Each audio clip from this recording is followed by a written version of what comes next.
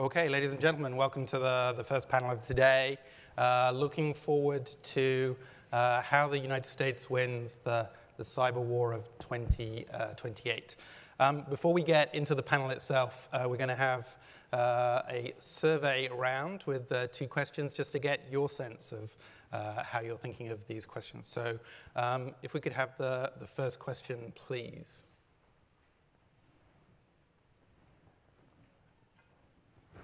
I am assuming. that a question will come up shortly. So you should have uh, clickers, and uh, you can read the question, and I can't. Uh, but the uh, key thing there is in the next decade, what cyber threat is the most dangerous to the United States national security? And uh, credit where it's due, I should say that these uh, questions are very heavily based on a, a triptych uh, created by uh, professor Thomas Rid about the threats that, that the US faces.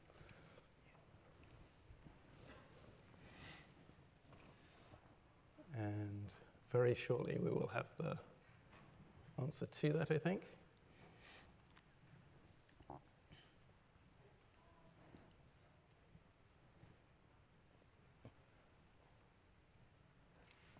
Okay, pretty uh, conclusive if that's true.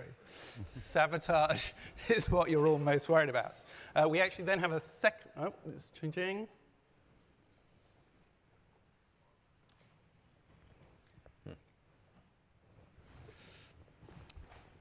Sabotage slightly ahead of subversion um, with uh, espionage and battlefield threats coming in relatively low down. Um, We'll let that settle. We then have a second question for you. If I could ask you to cue that up. Subtly different question, this time asking you uh, which uh, of those threats is the United States least able to uh, manage?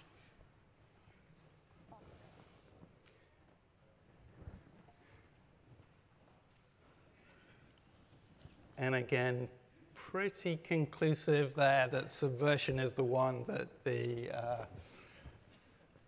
the US government is least uh, capable of uh, managing. And we're going to get very much into that question of subversion and disinformation as we go through this panel. So, um, uh, as we get going, uh, as Albert uh, mentioned, we have a fantastic uh, lineup. Uh, just to recap, uh, Rob Lee, who is a uh, New America Cybersecurity uh, Fellow, as well as being the founder CEO of Dragos Inc., industrial control systems cybersecurity company, uh, and importantly, a former Air Force officer. Uh, Jen Easterly, managing director, head of cyber fusion at Morgan Stanley, uh, but also an ex-army officer. Uh, we have Bob Schmidle, professor of practice at Arizona State University and an ex-Marine. Well, I think you're never an ex-Marine, I think he was a Marine. Uh, and Peter Singer, uh, who is uh, strategist and senior fellow at New America, uh, author, amongst other things, uh, of Ghost Fleet, a novel of the next world war. So, the premise of this panel is very much that um, the information technology is going to fundamentally change the character of conflict. And I think um, that's sort of built into to, to many of the panels, um, but also that, that the United States, maybe even uh, most countries around the world, uh, have, have not necessarily fully made the mental shi shift uh, to, to, to respond to that. And this, I think the premise of this panel is also that this is not necessarily just a, a military problem. Um, in order to set the scene, however, uh, I'm going to hand over to Peter, who's been writing and thinking about this for, for several years, just to give us an overview of the things that we might want to think about. Peter. Sure, thank you. Uh, so I was thinking a way of framing this is to imagine if we were gathered 10 years ago, what would we have identified as the key trends that might affect cybersecurity, cyber war in 2018, and use that as a way to look at, okay, how would we look forward 10 years? So if we had been gathered 10 years back, uh, there's a lot of issues we might have talked about, but I think we definitely would have talked about three. Uh, one would have been the question of intellectual property theft and our uh, adversaries stealing our secrets and how might that advantage them or not on the battlefield. That issue was just starting to percolate, be taken seriously. You had had um, major U.S. weapons programs that had had serious breaches, et cetera. Uh, the second would have been some kind of question of uh, surveillance and privacy and what does that mean for this space. And the third, we would have uh, likely had a debate back and forth about what kind of organization do we need in this space. And we all would have said something around, well, we need something like a cyber command, and this is what it should be, and this should, should be how it's structured. Now, the challenge is that all three of those issues, we didn't solve them over the last 10 years. Uh, intellectual property theft, you know, continues, uh, and we've now seen the fruits of uh, that campaign. You know, so the latest U.S. and Chinese stealth fighter just coincidentally look the same. Uh, surveillance privacy. What we would have argued about back in 2008, we wouldn't have mentioned uh, Edward Snowden, and we would have had a very different kind of discussion. So that problem not solved either. Um, encryption debate still with us. The uh, question of cyber command it's here. We're having a different kind of organizational uh, debate around it. Okay, none of those have gone away, but I would offer that if we're looking at the great cyber war of 2028, there's three more that have moved to the fore that makes it even more complicated. Uh, the first issue is the complete and utter collapse of cyber deterrence. The message that Russia and every other actor received in the wake of 2016 and the campaign of attacks on the United States and all our key allies is that this works. Related to that, we have the fact that Ukraine has been treated as a battle lab for learning all of the different things that you can accomplish in this realm. And I think Rob's going to hit that uh, really uh, importantly. But you know, again, this hits in everything from information warfare attacks alike. And uh, importantly, we've seen the crossing of key norms in targeting critical infrastructure. All sorts of things we said for the last 10 years you never ought to do, we've seen that crossed. Penetration into nuclear power plants and the like. And then finally, we have uh, the um, international efforts to build uh, cybersecurity and cyber war norms and rules of behavior and um, international institutions. Those have all fallen apart.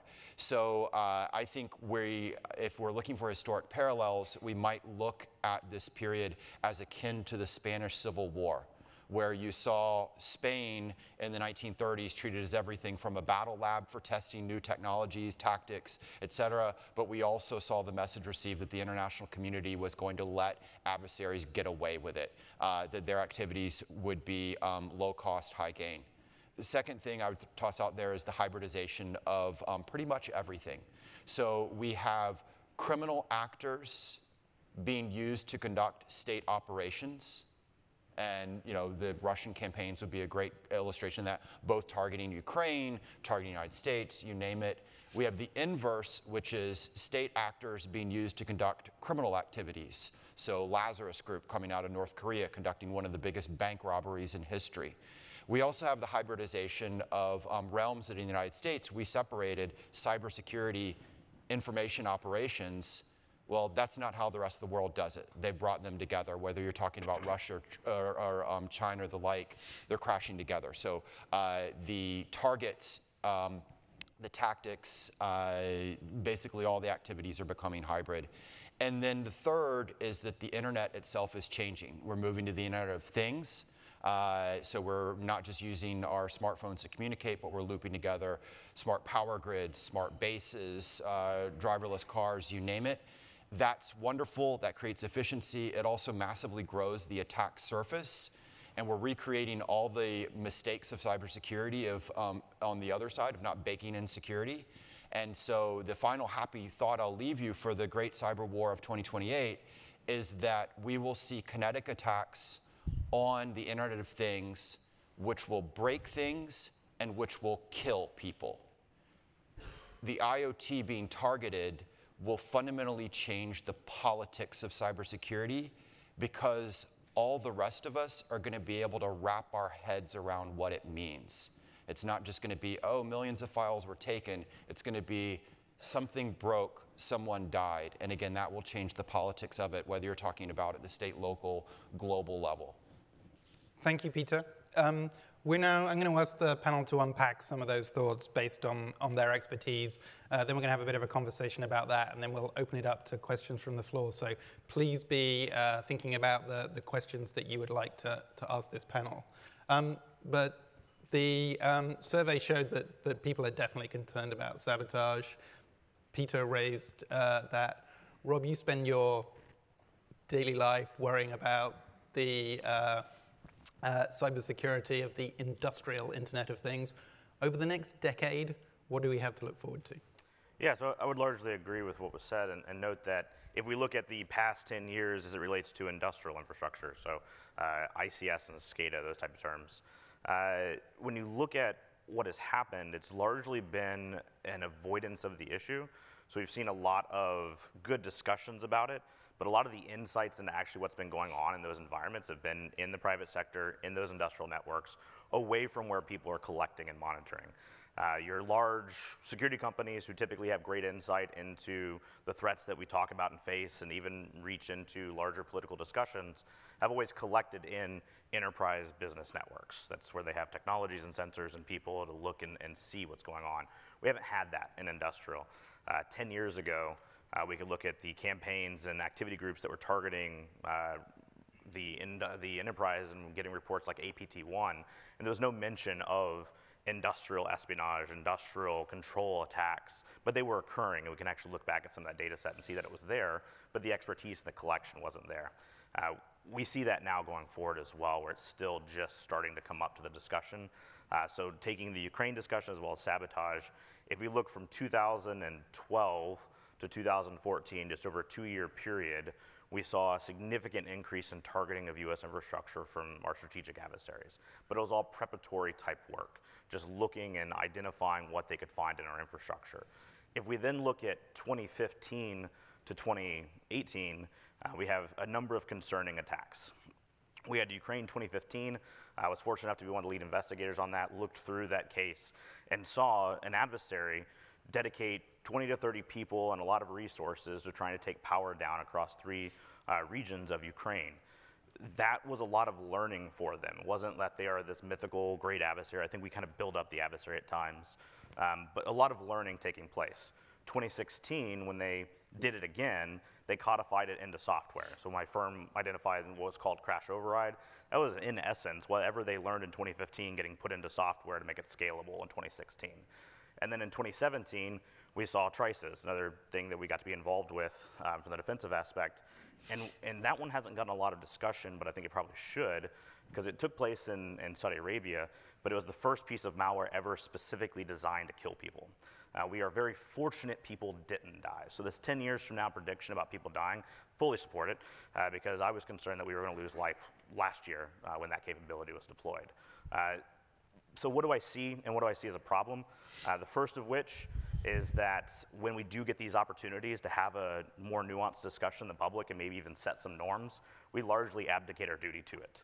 Uh, 2015, first ever cyber attack against the power grid. What was done? Nothing.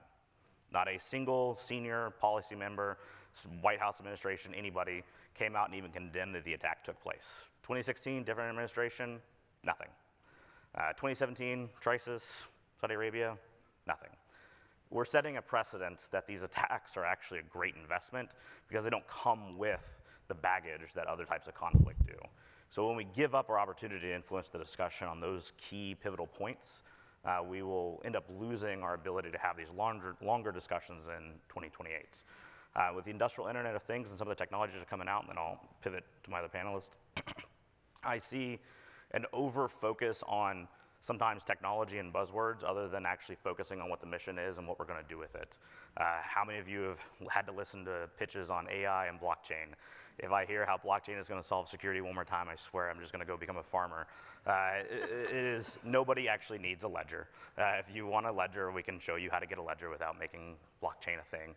Uh, but we have a sort of focus, an over focus on silver bullets. We're just going to fix this. Blockchain is going to revolutionize AI. Oh my gosh, we have it for offensive and defensive purposes.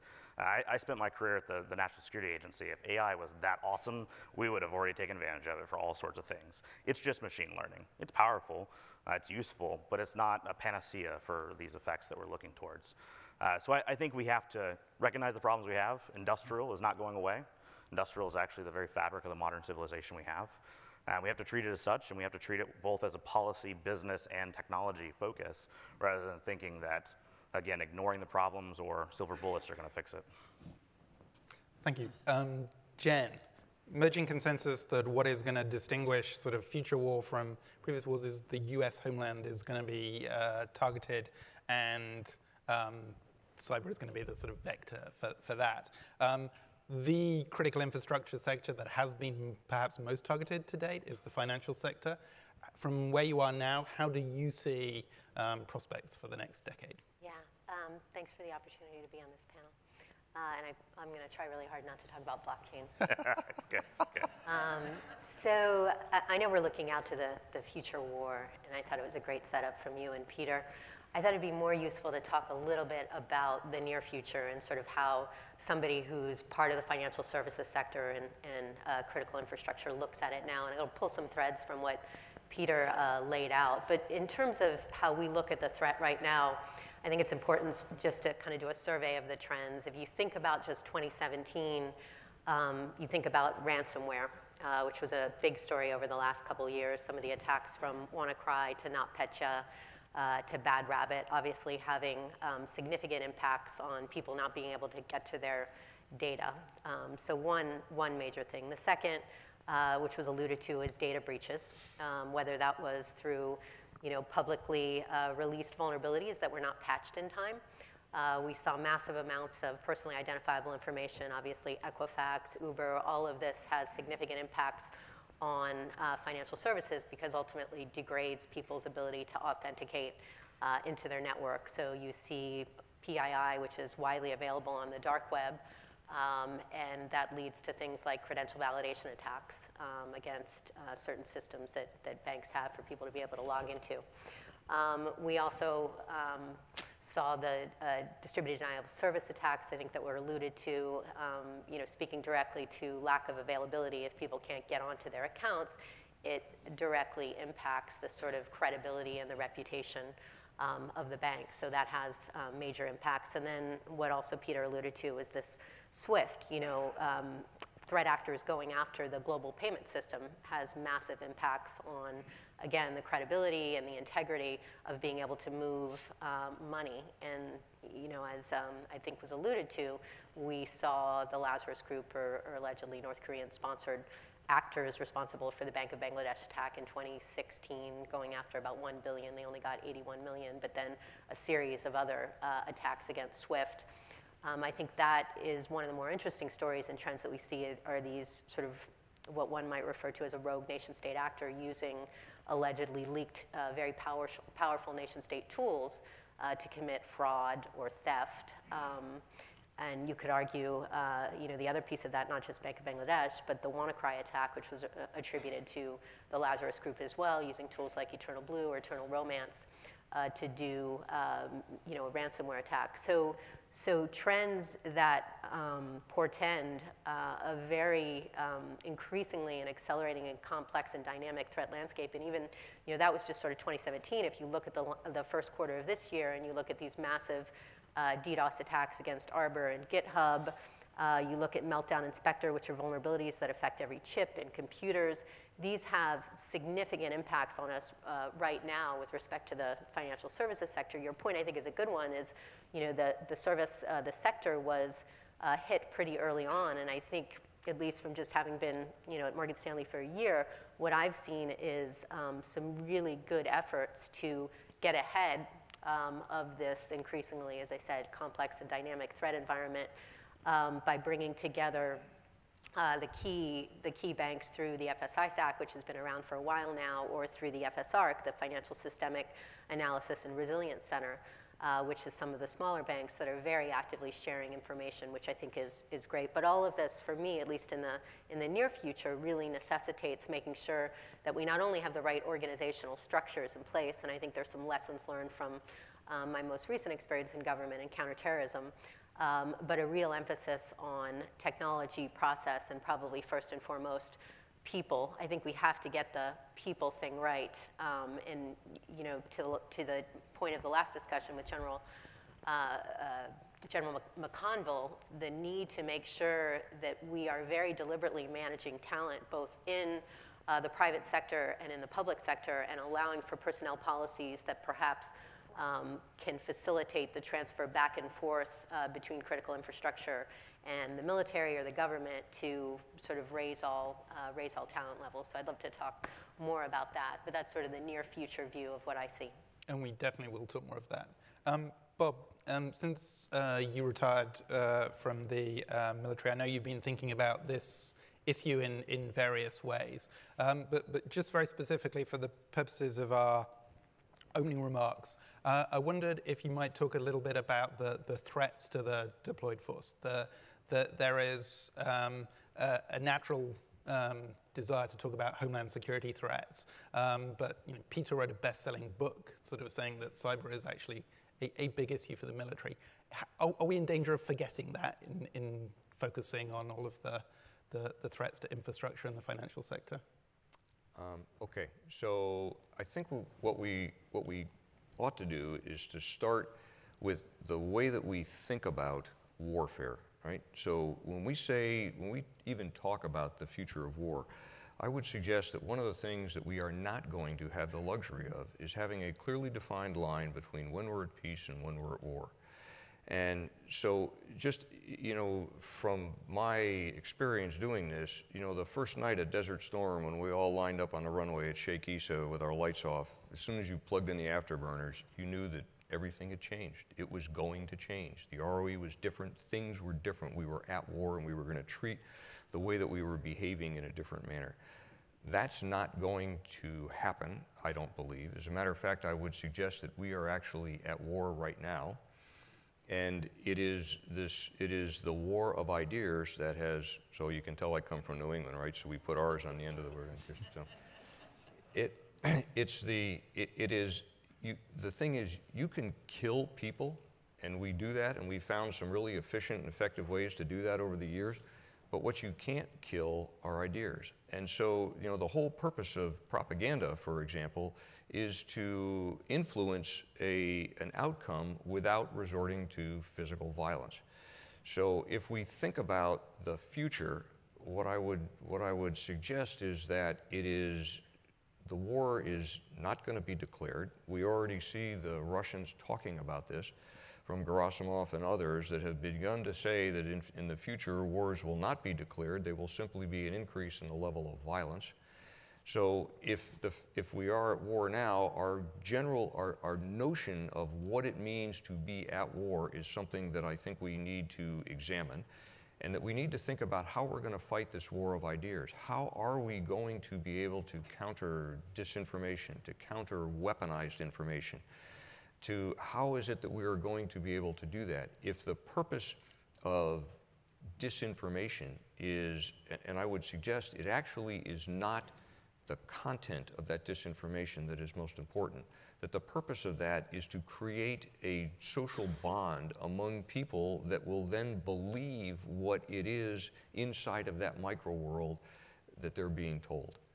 And this is the, the, understanding why people seem to believe things in spite of the fact that all the evidence points to a different, uh, a different answer.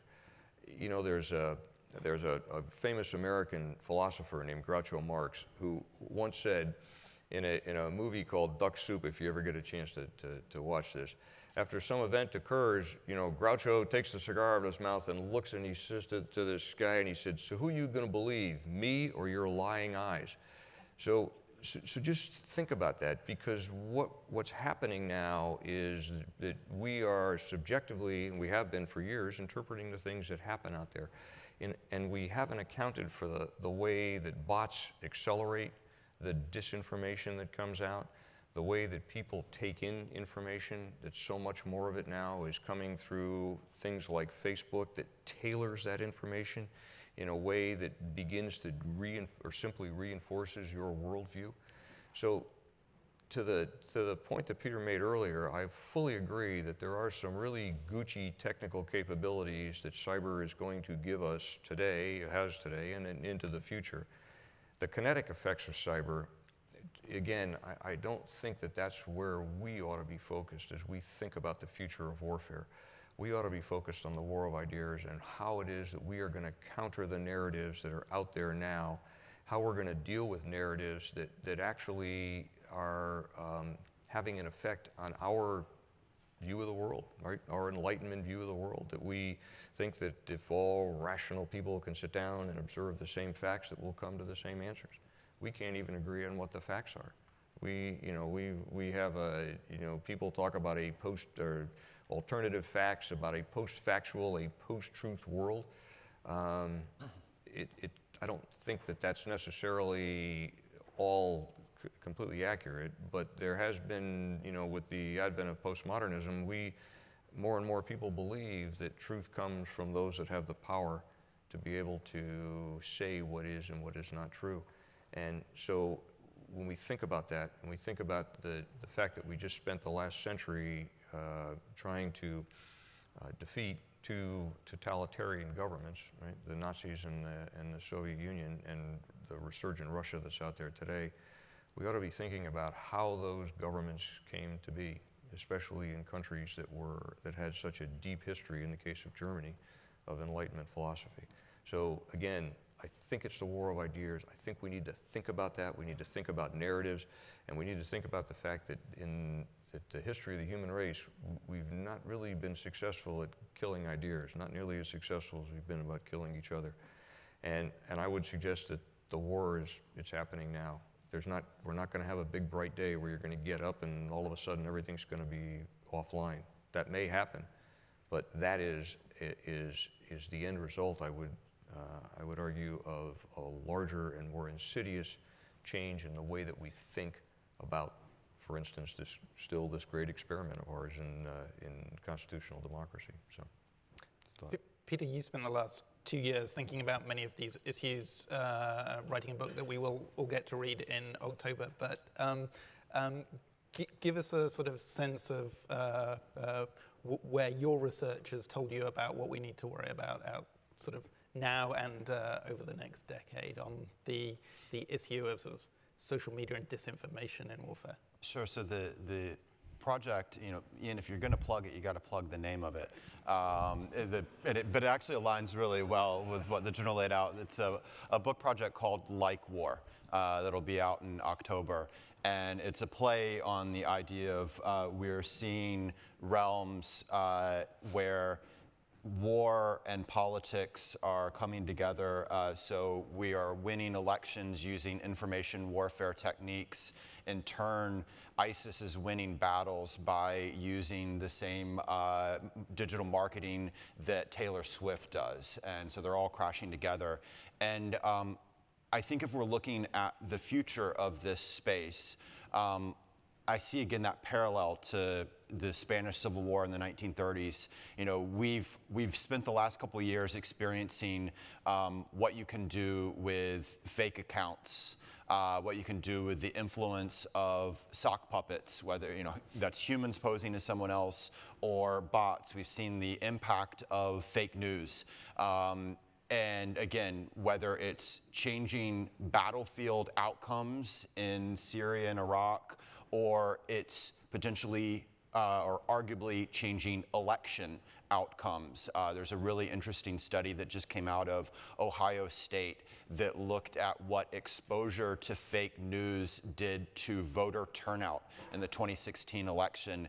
And um, basically, it depressed previous people who had previously voted for Obama, if they were exposed to fake news like Pope endorses Donald Trump, uh, it brought it down, uh, voter turnout for them by 2%, which, uh, if you crunch the numbers, uh, actually was enough to swing things. Um, but if we're looking to the future, what worries me is to go back to this um, idea of hybridization. So it's not something that's completely fake, it's the melding of what's fake and real.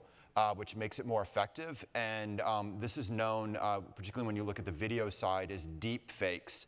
Uh, and like so much of the, the internet, this uh, comes out of two places. It comes out of the porn industry and university labs. Um, so if we've got a picture here, this is where someone melded the real face of um, Gal Gadot Varsano, who's the star of Wonder Woman, onto the body of a porn star. Uh, making it seem as if she appeared in a movie that she definitively did not appear in. Um, so if you can go to the next slide, um, you can uh, also not just uh, meld, but change. This is from a University of Washington experiment where they were able to synthesize a presidential speech that never happened. So you could make Barack Obama or anyone else if you've got approximately 30 uh, visual data points, which through social media you don't just get 30, you get literally thousands. You can make them essentially say what you want them to say. Um, next slide. Uh, so we're just now starting to get a taste of this in our politics. This is from an Instagram that uh, the young survivors of the Parkland mass killing made uh, where they're advocating for uh, gun control.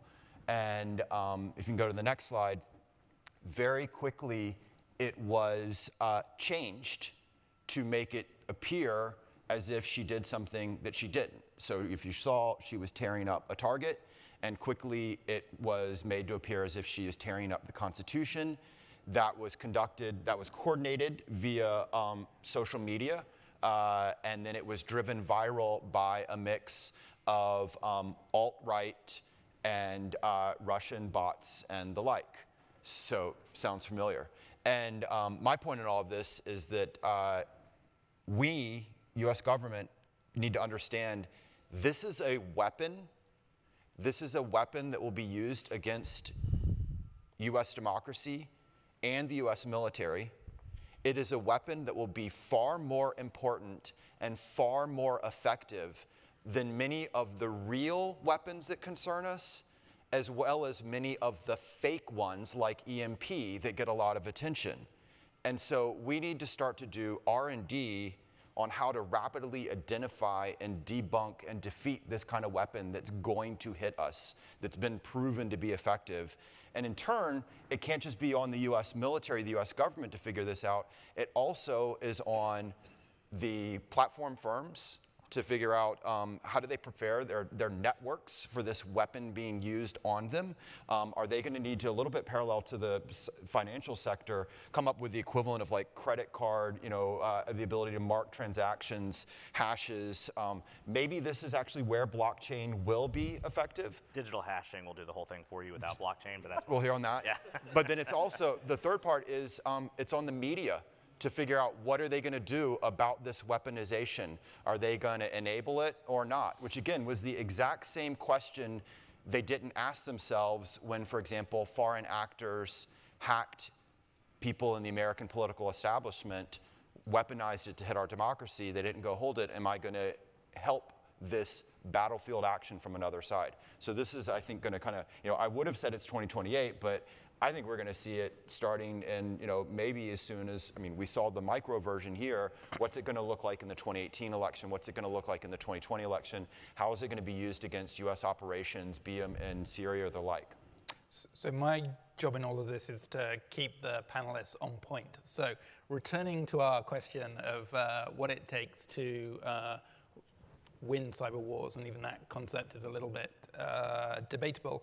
Um, what does this actually mean for the distinction between civilians and the military? I mean, the, the consistent message from what you said is that, that we're seeing a blurring of responsibilities. We, we have a new um, cybercom commander, NSA director coming in. What, what should he make his job, and how should that be different from what you know you, Rob, you, Jen, Mark Zuckerberg should be should be worrying about? Great way to clump us in with Mark, yeah. uh, so uh, still no blockchain would be great. Uh, but what does it actually look like for the military? So I, I, think about this a lot. I get asked this a lot uh, from my military peers. And I would say we have to figure out whose lane in the road goes to what problem.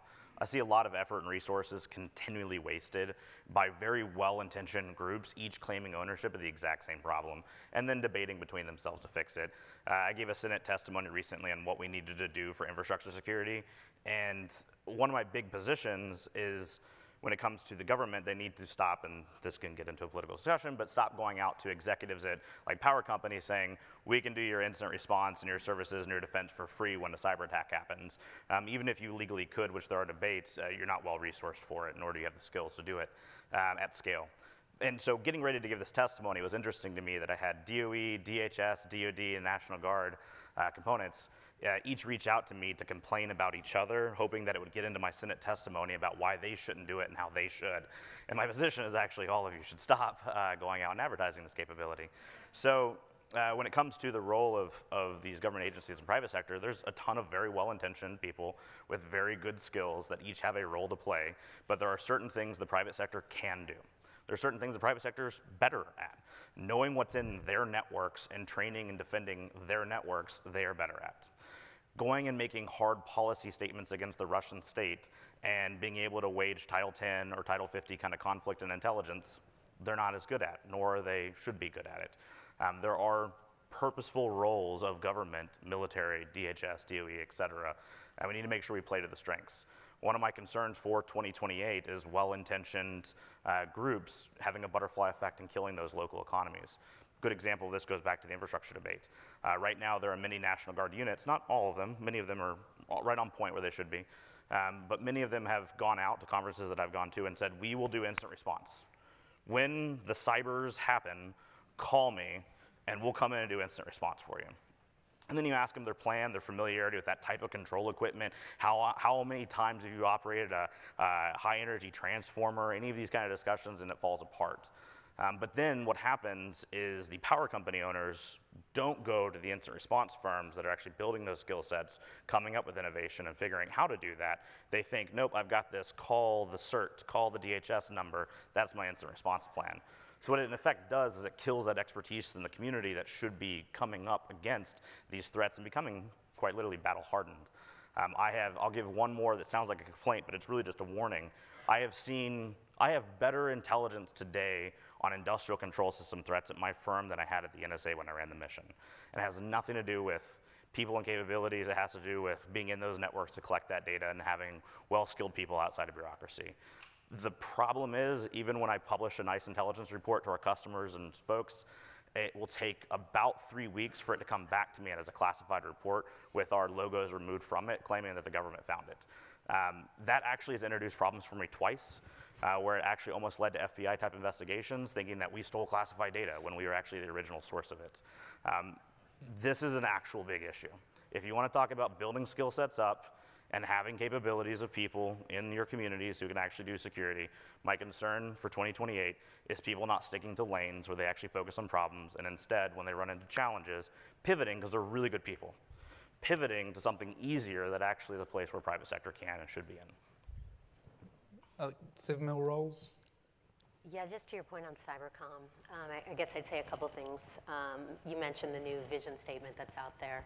Uh, and I'll say up front, um, I am personally very excited about uh, Paul Nakasone, um, uh, if and when he gets confirmed, taking over both uh, NSA and Cybercom. I think there's nobody better for that job, nobody more experienced both on the signals intelligence side as well as the cyber side, and exactly the right person uh, to take over that job and to grapple with the tough questions of how do we continue to build capacity and capability and um, the elevation to the unified command, the question of whether they split the dual hats uh, that was put together you know, almost 10 years ago when I worked with him on uh, the Cybercom I-team, I think one of the things uh, that they're going to need to spend a lot of time on within that vision statement, it talks about things like resiliency, which I think we can all agree with, uh, but a more sort of active defense um, and a uh, constant contesting of the adversary.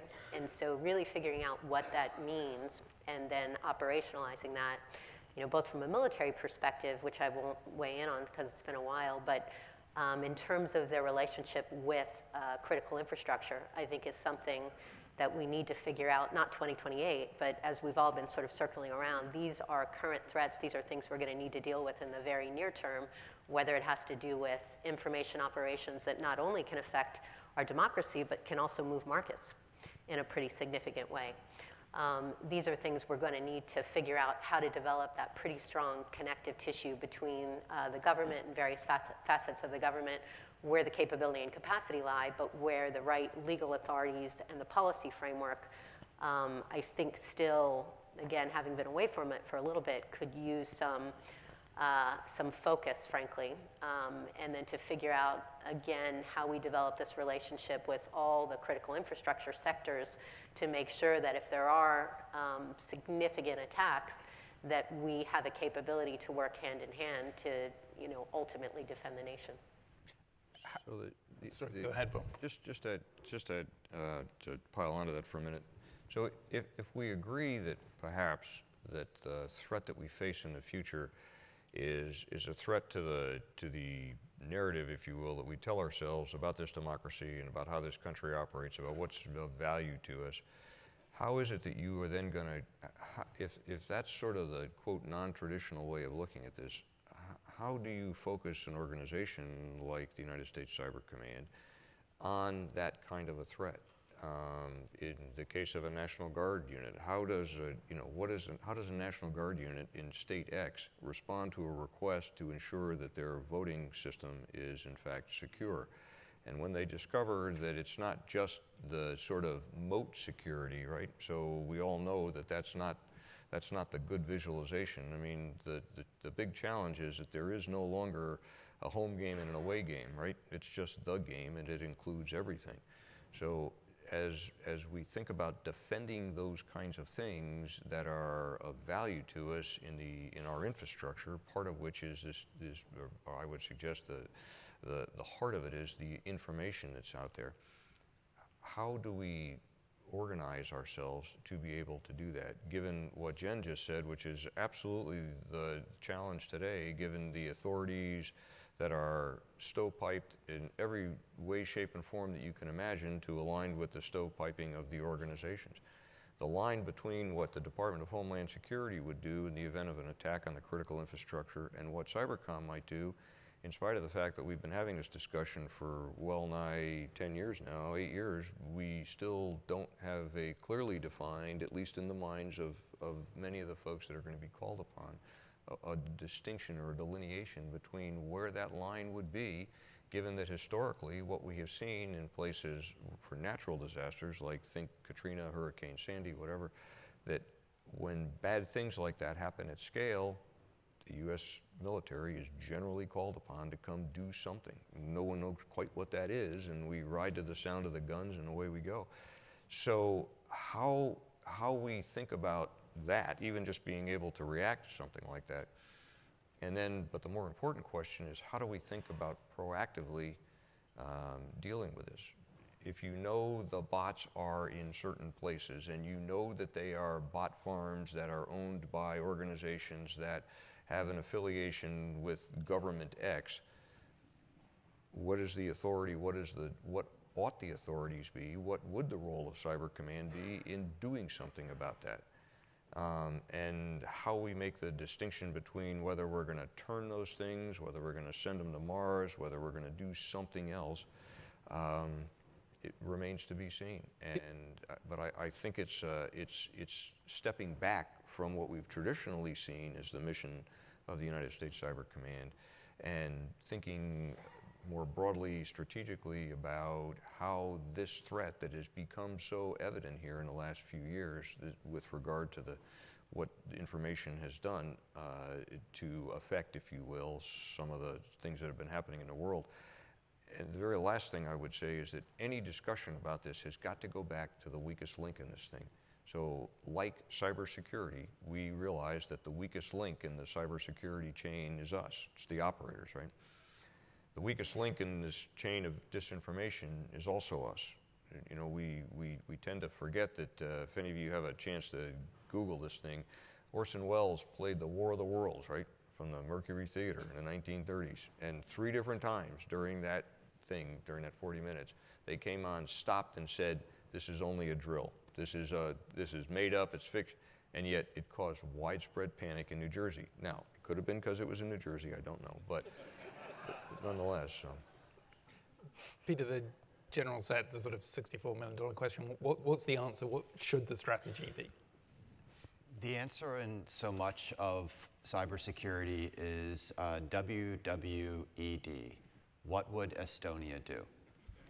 And by that I mean um, whether it is the strategy of building a digital economy, but thinking about security as you build it, uh, and a convenient digital economy, a lot more convenient than, than ours, to a strategy of resilience, understanding that threats will, you can't stop threats from hitting you. It's how do you um, become resilient to them? So, kind of this overall strategic thinking to uh, creating organizations to fill gaps. So, you know, I'm in complete agreement with the idea that we need to make the transfer of knowledge between private sector and government or active duty military a lot easier. But there's also, at the end of the day, uh, and I think Rob also touched on this, there's only so much capacity, only so much expertise that you can um, locate within government or the military. So we've built up National Guard capability, but at the end of the day, uh, to serve in the to serve in the military, to serve in the National Guard, you have to meet a set of physical requirements that the previous general mentioned. Not everyone meets. You have to meet a series of criminal background and um, you know what you can smoke or not. To you have to to join the National Guard, even as a cyber expert, you have to be willing to say, yeah, I'm a cyber expert, but if you need me to deploy to Iraq or earthquakes in Haiti, I'll have to go. Um, so that does not solve our human capacity problem. And Estonia has a model called the Cyber Defense League uh, that um, allows civilians to uh, aid government on a volunteer basis. The parallel in the United States is the Civil Air Patrol which was actually created during World War II to fill gaps that the um, US military couldn't meet. So it was doing things like uh, submarine patrols to ferrying planes to teaching kids. And again, the parallel here for a cyber version of this is doing everything from red teaming to helping with incident response to um, just like the Civil Air Patrol, reaching out to schools and universities to aid in training or to draw people in. So I think we need to be creative in building up um, other organizations that gap fill and do it in a uh, very cheap uh, manner. So if you look at the Civil Air Patrol, it's something like a budget of like 60 million. Um, and again, I think there's there's lot, there's a lot more that can be done in this space. But to go back to um, what Rob was laying out, the challenge for it is everyone can't think that they own this problem. And that's been one of the, um, uh, for all the capability building at Cyber Command or within the National Guard, we've also seen a resistance to alternative structures that, that might aid more capacity building. So I'm going to open this up to the floor in a second, but just before we do, I want to touch on that talent point. We have um, several uh, examples of sort of the, the US military sort of cyber talent now doing its um, business in, in the private sector here on the panel, uh, let alone uh, in, in the audience and, and elsewhere. Um, firstly, how do we make sure we're generating the right talent in the private sector, in, in the military? And, and second, how do we make sure that it, it, it is deployed in the right place? Either you know, all of the talent doesn't get sucked out into the private sector, or, or, or, we're kind of you know trying to do things in the military that, that could be done uh, better in the private sector. Ian, maybe maybe we ought to think about this structurally a little bit differently. So we talk about talent moving from the military into the private sector. So maybe the way to look at it is to say, all right, so is that such a bad thing? And maybe we ought to look at the mission space, right? So, you know, Cyber Command has three missions. As you know, it defends, it operates and defends the gig, and it does some other full spectrum, yak yak, whatever the euphemism of the day is. Maybe on the defensive side, we think about um, pushing a lot of that out of government, and we think about sending that, using the commercial sector to do much of that sort of blocking and tackling stuff, which would now free up uh, assets and, re- and resources to use against some of the other missions that Cybercom might do. So there's, I, there's just a couple different ways I think that we could, we might be able to, to, to look at this in a little asymmetrically that might actually be useful. Rob, I think it's your cue.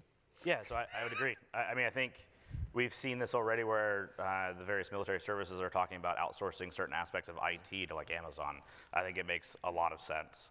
Uh, there are expertise that has become commoditized, that's scalable, and the private sector has um, knowledge on how to do. And I think we should think about the problem differently because there is a role for everybody, and there's a lot of smart talent, as mentioned, and we just kind of had to play to those strengths. When I think of workforce development specifically for the government, uh, I, I don't really push back on like weight changes. Like I'm a fairly fluffy guy after I got out, and I still don't think that anybody should welcome me back in uniform like this. Like let's not change uh, the military because we think cyber experts only come in one flavor. It's just not true.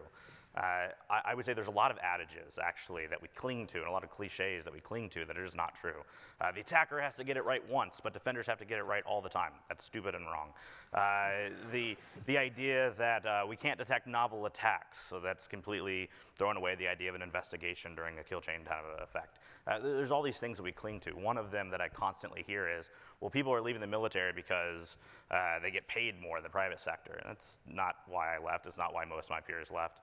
Uh, most of the folks that I see leaving leave because of mission. Uh, you can't have a lack of culture, a lack of mission, and a lack of pay. You know, pick one or two. But if you have all three, you're, you're going to lose your folks. Uh, so when I, I mean, and I'm in no way cynical. If you cut me, I still bleed red, white, and blue in coffee. But if you look at the military today, there, there's an overappreciation on capabilities and an underappreciation of people. Uh, that, that, that sort of pendulum swing is going to force you to lose a lot of people. Uh, there is consistently an, uh, a focus on putting leadership as a skill.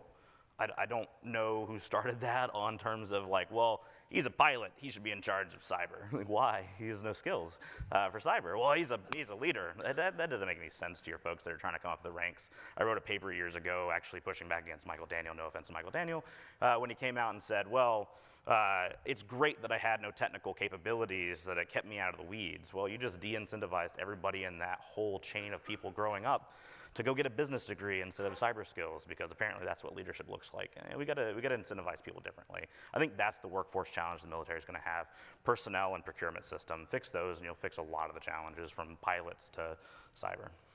Jen, you recruit out of the military for your uh, current role. How do you see the talent piece? Yeah, um, on the leadership piece, I don't know if that's unique to Air Force. Um, it's very Air Force I, thing. I, um, I had a different experience in the Army, so we don't need to go into that in detail, but I think leadership is, um, you know, core to the importance of, you know, across the branches of the Army. But to the point about uh, the talent management piece, just to pick up on one thing you said, I, I don't necessarily think people are leaving.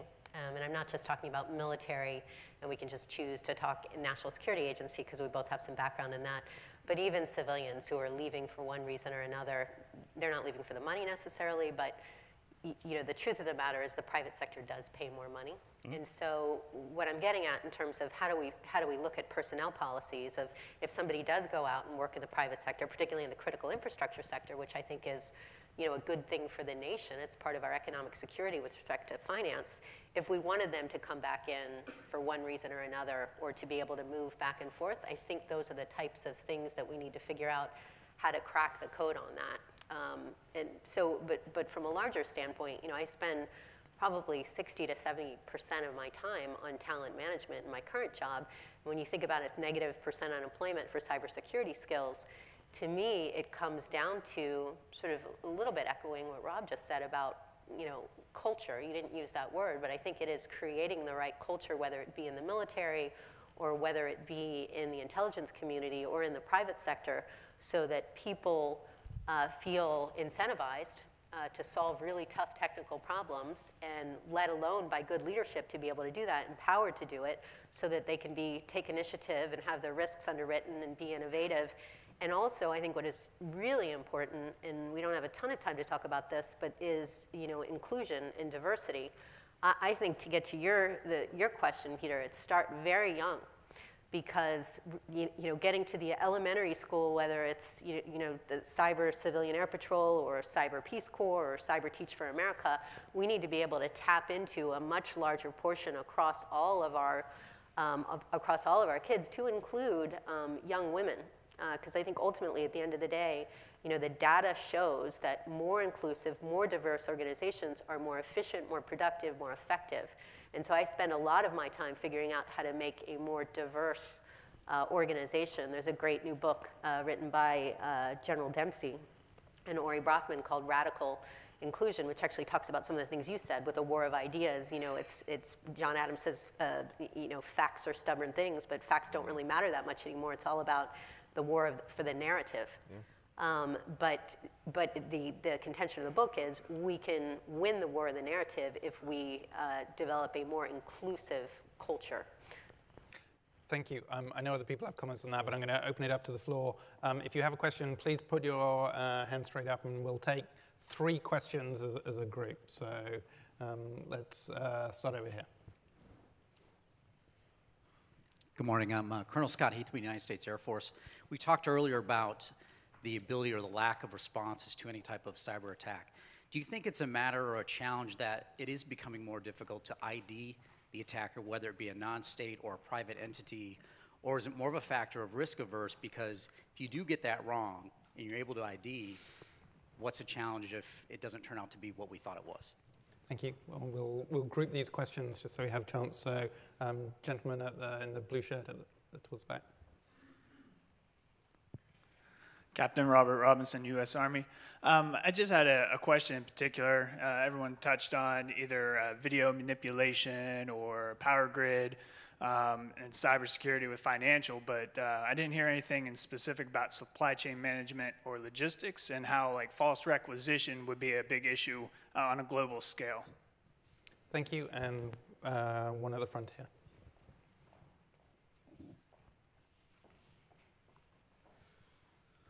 Hi, Matt Ryan from the Council for Emerging National Security Affairs. Um, you talked about the potential for private sector to contribute to these problems, but history has shown that private sector can't always impose the stick. So you talked about carrots, but there's not a stick. Um, Richard Clarke used the, the comparison of an oil spill or an environmental disaster for how some of these vulnerabilities are being treated in the private sector. Isn't there a need for the government to step in and punish those who are needlessly creating vulnerabilities in this space? So three questions. One, uh, identification of attackers, I guess attribution. Uh, second, supply chain cybersecurity. And um, uh, third, um, the role of the government to sort of hold the private sector to account uh, for vulnerabilities, but also, I guess, to, to enable them to, to, to, do other things. Jump in as you see fit. You, so if the question about attribution Depends on who you talk to. It's either very difficult or not so very difficult. Um, the response to that, uh, in whether or not there is risk, it depends.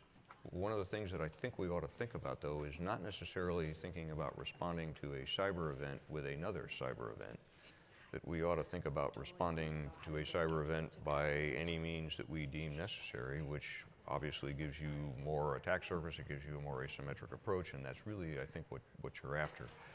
Part of the issue that you're raising, though, at least in my experience, has been that a lot of the people that are trying to make decisions about the actions or the reaction to something that's happened have not taken the time to educate themselves in even the basic technology to have to understand exactly what it is that's happening to them, to their networks, to their infrastructure.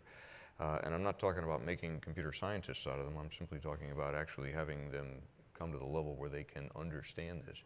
Uh, I don't know what you do in the Air Force, but if you're a pilot, for example, uh, not every pilot that I know, certainly I'm not, is an aeronautical engineer. Yet we all have some basic understanding of aerodynamics and why airplanes do the things that they do. That level of understanding with regard to cyber uh, in the world of cyber is, is something that I've seen to be sort of spotty, I guess. And I'll, I'll take the uh, supply chain uh, question. Uh, we need to reframe our thinking. Our supply chain is now a battlefield. Um, and it's a battlefield in uh, at least two potential ways. One is if you look at the scenarios, whether it's uh, Russia in Eastern Europe or uh, China in the Pacific, uh, there's um, power in a, in a direct defeat, but there's also uh, power in just simply slowing down our deployment enough to create a fait accompli uh, I seize territory X or I take action Y and the United States doesn't show up within the day, it's delayed for a week or the like. And going after our supply chain, going after the civilian companies that our military depends on to deploy, going after GPS, not just to make the Navy ship think that it's in the wrong place, but to make the um, the package uh, uh, hit the wrong place. Um, changing the package so that instead of uh, ammunition, toilet paper arrives uh, by the barcode. All of that has an effect that could um, shift the battle and allow the other side to win simply by delaying the, uh, the normal efficient workings of our supply chain. The second um, idea of it being a battleground is hitting the supply chain during um, the design or manufacturing process. Uh, that is creating flaws in the technology itself. So we've seen stealing of intellectual property, but you may also see the insertion of flaws, um, hardware hack, so to speak, so that uh, those microchips that uh, you bought on scale and then deployed into your weapons on scale what happens when they don't work the way that you planned. And again, what hits, you know, I think a theme of this is that battle, the effect of it might happen um, two years from now, uh, but the, the most important battle uh, happened in phase zero. That is, the, the war might have been won two years before the war ever began. Jen, Rob? Yeah, I was just, I was really going to mention what Peter mentioned. Just I, I talked about NotPetya earlier, which is a great example of a supply chain attack that you know, had hundreds of millions of dollars of impact and rippled, you know, operationalized through M.E.Doc accounting software. So couldn't agree more that that's another sort of major trend, and we certainly look at um, from a vendor perspective, um, you know, that's as important as our weakest point, frankly.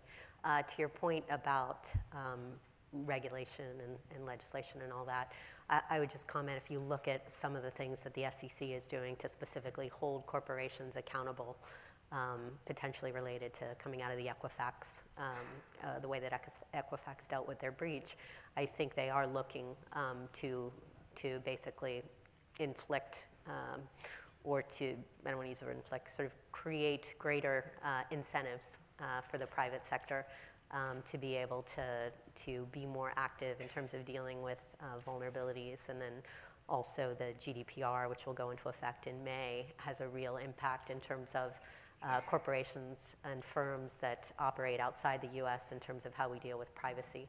And so another example of just how we're going to be, um, you know, how we're going to need to shift uh, what we do based on um, government norms. So we're pretty much at the end of the time. So I'm going to ask uh, Rob to come in and uh, just answer those three questions. And then I'm going to get, put you on warning that I'm going to come down the row and ask each of the panelists for the one sentence view of what the US needs to do differently to be uh, ready for the challenges of the next decade. This is obviously going to be much shorter. So knowing the attacker, not important at all for defense. It's important for strategic purposes. If I'm doing incident response or investigations, it can actually hurt the baggage that comes with attribution and thinking differently in the network. 99% of your incident response is before the attack happens. It's all the preparatory work and the investigations capital that needs to be put in.